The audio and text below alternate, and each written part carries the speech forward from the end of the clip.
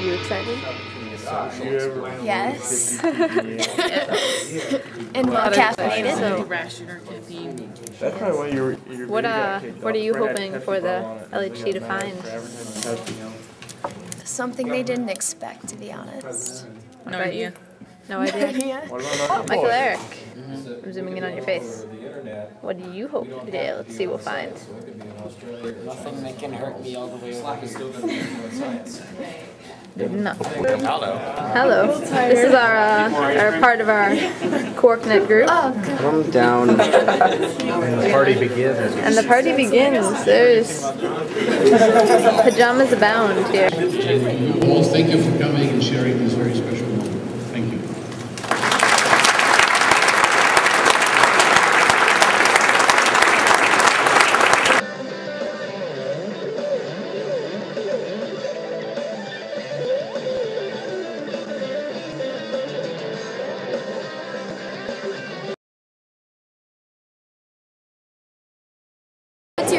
your question? Um, did you always know you wanted to work in um, particle physics research, or was it something that happened along the way? something that happened along the way. How did you start off? Like, I, so I did my PhD in nuclear physics. in nuclear physics, you said? Yeah. Low en- it's called a nuclear low energy nuclear physics. And then I guess opportunity showed up and I became a particle physicist after, after many years. I can. Not very well. More questions? What are you hoping that they're going to find once they launch the LHCb? What's going to be found at LHC? Let's like a see. moving hmm. 50% of me says maybe there will be a Higgs, but the other fifty percent will not be unhappy if there will be That no would be a great invention. Hmm. Because if, if there's a Higgs, then then we say the standard model is more or less a validation of the standard model. And if there's no Higgs, which is also a good it thing, down, then but there will be more jobs. It jobs, stays up because and we have to look elsewhere. Thank you for answering her Yeah, question. thank you. Thank you. Tell me when. Okay, go. Okay. Um, what's your name? My name is Mike Fortner. And what's your role here at Fermilab? I actually appear in part wearing three different hats. One, I am a state representative. I represent Fermilab and our communities right around Fermilab in the Illinois State Legislature. Secondly, I am a professor of physics at Northern Illinois University, which is about 30 miles west of here. Thirdly, I've been an active user, means I'm one of the guys who come in and work on experiments here. And I've worked on one of the big collider experiments called the D0 experiment for the last 21 years. What's um, the D0 experiment? The D0 experiment is one of the large collider experiments. Much like when they talk about ATLAS and CMS, the two big experiments that are focused on at the LHC, the two big experiments here are CDF and D0. They're both designed to be able to operate using the, maximum power, the highest energy, highest luminosities that here at the Tevatron it can deliver to take a wide variety of experiments. We don't look for just one thing, much like the Hubble Space Telescope. It doesn't just take a picture of one star. It's able to look around at different things and has different cameras to tell what's going on. Our experiments have different types of detectors built in them to try to study different properties that go on at the subatomic level. Um, one last question. What do you hope that the LHC? Well, I think that for me, what I'm hoping it can do is, is kind of continue to push the boundaries. What we've been doing here at the Tevatron is um, look at the highest possible energies, and with higher energies, that gives us our ability to, to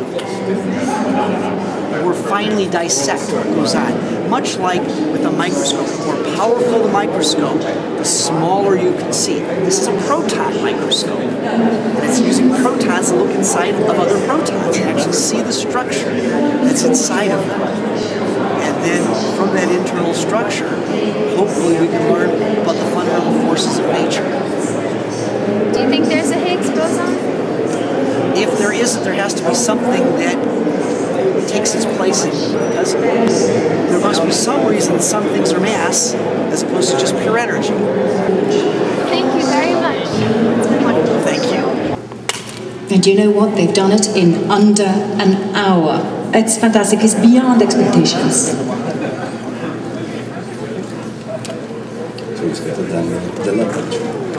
Better than LEP, although Robert Aymar said there is no, no reason to compete with LEP. Let's focus on this. Okay. Oh, what, what's your name? Is Young Kim.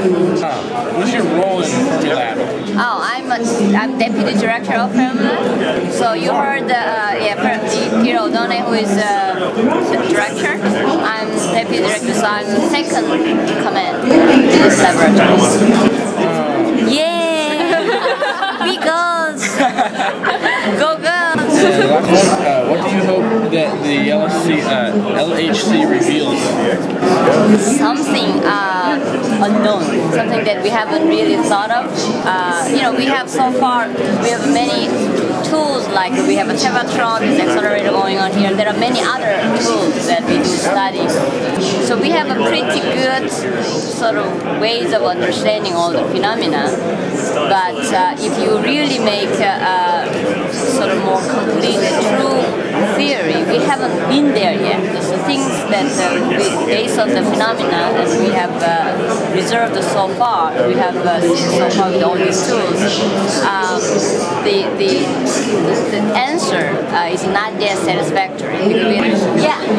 People are saying that should the Higgs boson be the God particle, that physics, the study of particle physics as we know it, will be solved and there will be no more mysteries. Do you buy that? No, not at all. That's just the beginning. A lot of uh, uh, things to be done, and, and uh, at beyond LHC, we probably need even more powerful machines to go later questions. So this is the one step, but there there will be many more steps. Don't worry, there will be plenty of things for you to do. okay. Thank you very much. Thank you. Okay, thank you. I guess, you know, throw a little promo in there for QuarkNet.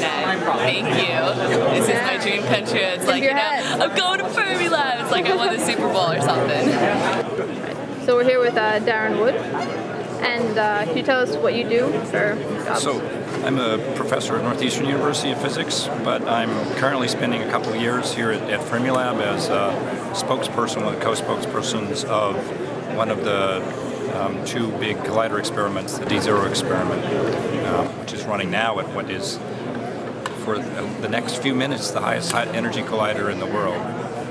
And uh, what does the D0 do? So what, what we do is uh, we look at collisions of protons and antiprotons at about uh, an energy of about 2 TeVs. It's compared to the LHC is about, about a factor of seven times smaller. But, but uh, as I said, is at this moment is still the highest energy uh, beams in the world. And so we're looking at, similar to Atlas and CMS, whatever we can find in these collisions looking for new types of interactions, looking for new particles. We just found a new particle announced last week, uh, the um, omega B baryon, one of the new um, particle made of three quarks.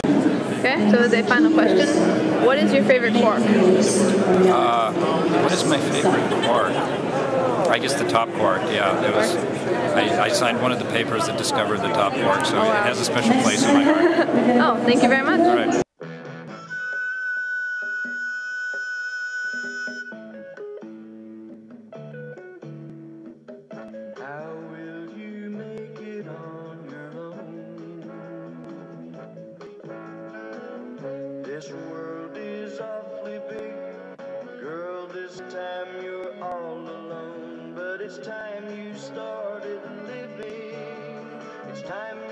Someone else do some giving. Love